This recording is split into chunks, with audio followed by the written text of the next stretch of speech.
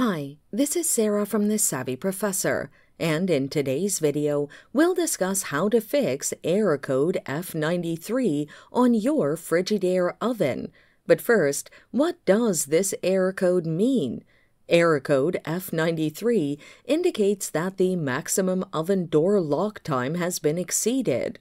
This is the most common cause of the error, a fault with a lock motor or micro switch. Now, let's look at the best solutions to fix the air. Inspect the oven door.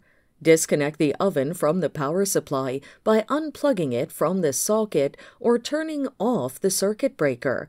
Open the oven door and check for any physical damages, including open wires or breakage.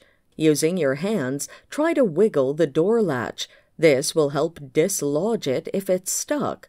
Wait 5 minutes for the oven to reset and clear any false airs.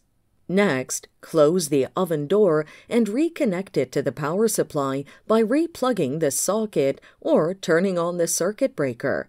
Switch on the oven and pull and push the door several times. Monitor the oven for some time to see if the air is resolved. If the error still shows, there could be a technical fault with the lock motor or micro switch.